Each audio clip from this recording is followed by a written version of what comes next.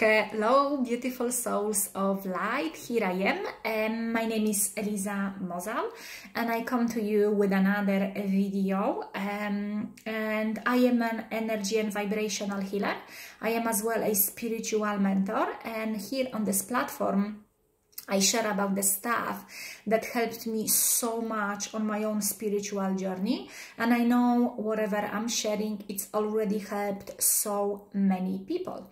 From the very beginning, I'm just going to let you know that through my open heart and my high vibration, I am already sending through that video uh, high vibrations of love and light to you. You might see that vibration, you might see that energy following me when I move around, flowing from you, flowing from my eyes, through my face, through my skin, through my entire body. And if you are at the stage of your journey where you are entirely open to receive higher vibrations of love and life, you can just relax take few deep breaths and let yourself release receive that energy. Let yourself be basked in that higher vibration. And i wanted to talk a little bit more about opening your heart center because it is so important. Um, heart center versus mindset uh, based on just listening to our mind are actually two different stories and two different ways of living our lives. You know, we came into this existence to experience everything. We signed up for everything we went through, or at least majority of that stuff willingly. Although very often before we signed up for stuff, we probably didn't realize, oh shoot, that will be so painful. oh wowza, what did I put myself into? But at the end of the day this is the place where we let ourselves to learn and grow so much through everything we are going through. And i've been recently finding myself talking to so many people about opening our hearts how important that is and what is the difference between heart set and maybe maybe mindset. So there is nothing wrong with our minds and using our minds until our mind uses us. Let me just explain what that means. That means that uh, example right? Guilty as charged as always. Um, for example eliza was entirely mind driven which in my opinion, means entirely ego driven, when my mind was entirely filled with others people belief systems, others people beliefs, others uh, understanding of how things should be and how things shouldn't be, right? Until the point that I'm, for example, cleaning the toilet and I cannot turn it off, this obsessive way of thinking right? So if I cannot turn it off, this obsessive way of thinking, or I am entirely even not aware that in the back of my head there is constant and she said this and they said that how dare they and 10 years ago i've done this horrible thing and it's all her fault and all that stuff whether I, I am aware of it or not if this is happening in my mind that mind is in charge of me. So the point that I'm cleaning that bathroom, I cannot be at peace because I cannot turn off this resentment, hatred, and you know, looking at the past or being so scared of the future.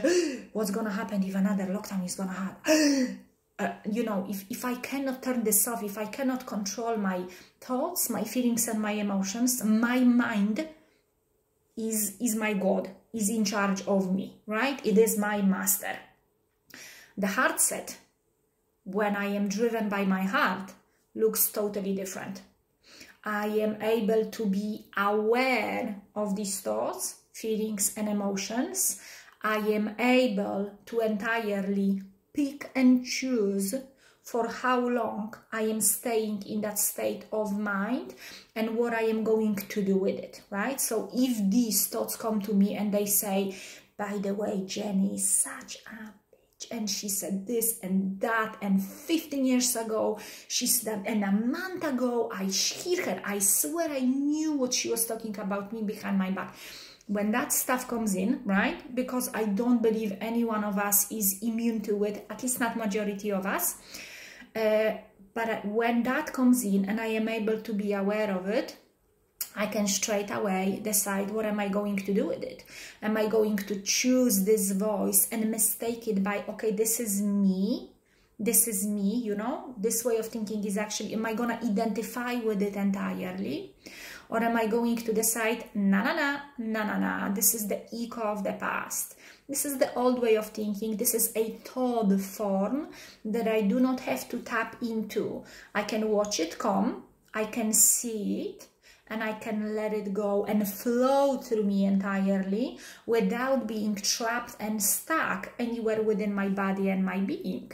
I can pick and choose to just change my energy physically by just literally stretching, jumping, dancing, going for a walk, or I can just go for a cold shower, or I can just sit in a meditation. I can just literally stop everything for 30 seconds take few deep breaths, connect with my heart, connect with my heart, and remind myself who truly am I. I am not that thought. I am so much more than that label or my past, and I can let it go and then when I am entirely at peace after 30 seconds or a minute, maybe sometimes five hours, depending on a day and what kind of state I am in, and I can get back into being heart driven. Again, some days it's easier, other days it is not. We're all human beings on our journey learning everything. But this is the difference between being driven by your mind your past, your future by the fear, by the lies, by the separation, by all the stuff that it makes us disempowered, right? Or we can entirely choose to start diving into our heart intelligence and connecting with that beautiful heart of ours.